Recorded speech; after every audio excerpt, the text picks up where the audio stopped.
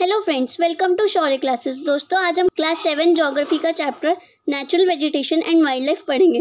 दोस्तों, आज के चैप्टर में जो हमारा टॉपिक है, वो है टुंड्रा वेजिटेशन अभी तक दोस्तों हमने थॉर्नी बुशेस तक पढ़ लिया था। अगर अभी तक आपने वो वीडियोस नहीं देखी है तो आई बटन पे क्लिक करें और वो सारी वीडियोस देखें, ताकि आपको ये वाला टॉपिक और अच्छे से समझ आए। आइए दोस्तों, इस टॉपिक को स्टार्ट करते हैं और पढ़ते हैं टुंड्रा वेजिटेशन के बारे में। टुंड्रा वेजिटेशन, जिसको हम हिंदी में टुंड्रा वनस्पति भी कहते हैं।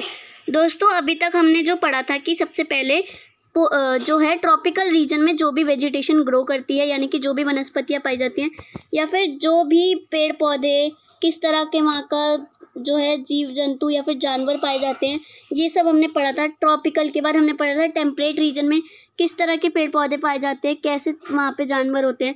फिर उसके बाद हमने पढ़ा था कि टाइगा के बारे में। टाइगा यानी कि जो टेम्परेट से थोड़ा ऊपर की तरफ़ है, लेकिन पोलार रीजन, यानी कि ध्रुवीय क्षेत्रों से थोड़ा नीचे की तरफ़ है, लेकिन वो भी ठंडे इलाके में। वहाँ पर किस तरह के पेड़ पौधे पाए जाते हैं? फिर हमने लास्ट वीडियो में पढ़ा था कि डेजर्ट्स यानी कि जहाँ पे एकदम गर्मी पड़ती है, सूखा रहता है, वहाँ पर किस तरह के पेड़ पौधे पाए जाते हैं? दोस्तों, हमने अभी तक ये सारे टॉपिक्स कवर किए हैं, और कैसे कैसे पेड़ पौधे होते हैं, वहाँ पर कैसे कैसे जानवर पाए जाते हैं और वहाँ पर इंसान रह सकते हैं या नहीं रह सकते, ये सब पढ़ा था। अब हम पढ़ेंगे पोलार रीजन्स यानी कि ध्रुवीय क्षेत्रों के बारे में। ध्रुवीय क्षेत्र जो है सबसे ऊपर की तरफ़ है, जो कि है नॉर्थ पोल नॉर्थ पोल को हम हिंदी में बोलते हैं उत्तर, उत्तरी ध्रुव और साउथ पोल जिसको हम बोलते हैं दक्षिणी ध्रुव। तो इन दो जो ध्रुवीय क्षेत्र हैं, यहाँ पर किस तरह की वेजिटेशन पाई जाती है, यानी कि किस तरह की वनस्पति पाए जाते हैं, ये आज हम पढ़ेंगे। चलिए दोस्तों, अब इसके फीचर्स के बारे में पढ़ते हैं। इसका पहला पॉइंट है it is found in polar region जैसे कि मैंने आपको कहा था कि ये ध्रुवीय क्षेत्रों में ज़्यादा पाए जाते हैं और ध्रुवीय क्षेत्र काफ़ी ठंडा होता है। आइए दोस्तों नेक्स्ट पॉइंट के बारे में पढ़ते हैं। The growth of vegetation is very limited जैसा कि मैंने आपको बताया कि जो ध्रुवीय क्षेत्र हैं, वहाँ पर काफ़ी ठंड पड़ती है। और धूप, गर्मी वगैरह काफ़ी कम है। तो पौधों को क्या सनलाइट तो चाहिए अपना खाना बनाने के लिए फिर अपने आप को ग्रो करने के लिए? इसलिए वहाँ पे हर तरह के पेड़ पौधे नहीं उगते, क्योंकि वहाँ पर हर तरह के पेड़ पौधों को पानी चाहिए अपने टाइम पे।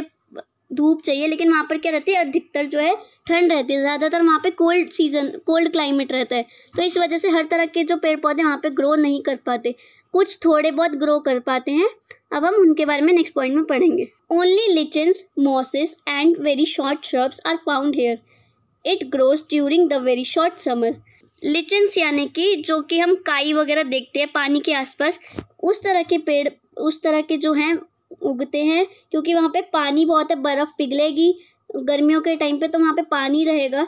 तो इसलिए वहाँ पे काई वगैरह रहती है, और या फिर बहुत शॉर्ट श्रब्स यानी कि बहुत छोटी छोटी वनस्पतियाँ, या फिर जड़ी बूटियाँ रहती हैं, उगती हैं। It grows during the very short summer यानी कि ये तभी ग्रो कर पाती है जब वहाँ पर बहुत छोट, बहुत कम समर टाइम होता है। वहाँ पे ज़्यादातर रेनी सीज़न और जो कोल्ड क्लाइमेट में है, वहाँ पे बर्फ़ रहती है। एकदम वाइट चादर की तरह वहाँ पे एकदम बर्फ़ रहती है। सिर्फ़ जो थोड़ी बहुत समर होती है वहाँ पर सनलाइट उनके वहाँ पड़ती है तो ये सारे ग्रो करते हैं। दोस्तों, अगर आपको कोई भी डाउट हो तो कमेंट सेक्शन में ज़रूर बताएँ और इस वीडियो को अपने दोस्तों के साथ शेयर करें ताकि उनको भी इस वीडियो से हेल्प मिल सके। आइए दोस्तों, आगे पढ़ते हैं। This vegetation is found in area of Europe Asia and North America दोस्तों, ये जो वनस्पतियाँ हैं, ये पोलार रीजन यानी कि ध्रुवीय क्षेत्र जो कि यूरोप का है, वहाँ पर पाई जाती है। उसके बाद एशिया में पाई जाती है। अब आप सोचोगे, एशिया तो ध्रुवीय क्षेत्रों के पास है ही नहीं तो वहाँ पे कैसे? एशिया में जो रशिया वाला, जो ठंडा इलाका है या फिर हिमालय वाला इलाका है, वहाँ पर ऐसी वनस्पतियाँ पाई जाती हैं। और नॉर्थ अमेरिका में जो कनाडा वाला इलाका है, जहाँ पर हमेशा ठंड रहती है, वहाँ पर ऐसी वनस्पतियाँ पाई जाती हैं। आइए दोस्तों, नेक्स्ट पॉइंट की तरफ़ चलते हैं। The animals here have thick fur and thick skin to protect themselves from cold and cold climate दोस्तों, जब हमें ठंड लगती है तो हम मोटे मोटे कपड़े पहन लेते हैं, ऊनी कपड़े पहनते हैं, जैकेट पहनते हैं, लेकिन यहाँ के जो जानवर है, जो हमेशा यहीं पर रहते हैं तो वो कैसे सर्वाइव करते होंगे? वो कैसे अपने आप को गर्मी देते होंगे? क्योंकि हमेशा ठंड में रहना तो संभव नहीं है। तो उनके पास जो है नेचुरली मोटी चमड़ी होती है, फर होते हैं उनकी स्किन के ऊपर, जिस वजह से वो अपने आप को ठंड से बचा लेते हैं और यहाँ पर सर्वाइव कर पाते हैं। आइए दोस्तों, किस तरह के जानवर पाए जाते हैं? अब इसके बारे में पढ़ते हैं। Seal walrus musk oxen arctic owl polar bear and snow foxes polar bear यानी कि आपने पिक्चर में भी देखा होगा, जिनको हम ध्रुवीय भालू कहते हैं स्नो फॉक्सेस जिनको हम बर्फीली लोमड़ियाँ कहते हैं, ये सब वहाँ पर पाई जाती है क्योंकि इनकी स्किन वैसी होती है, वे यहाँ पे सर्वाइव कर लेते हैं, इसलिए सिर्फ़ इतने ही ऐसे ही जानवर पाए जाते हैं। दोस्तों, उम्मीद है आपको ये वीडियो अच्छी लगी होगी। अगर आपको कोई भी डाउट है तो कमेंट सेक्शन में ज़रूर लिखें। और ये हमारे चैप्टर का आखिरी टॉपिक है।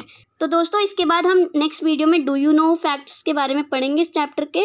और आपको कोई भी डाउट हो तो कमेंट सेक्शन में ज़रूर लिखें। इस वीडियो को शेयर करें। और अगर आप चैनल पर नए हैं तो सब्सक्राइब करें। Thank you so much